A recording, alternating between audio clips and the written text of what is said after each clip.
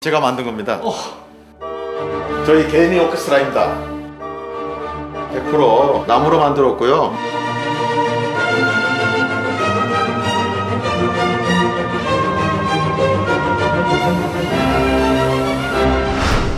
세상에 이런 일이 나오셔야 돼요.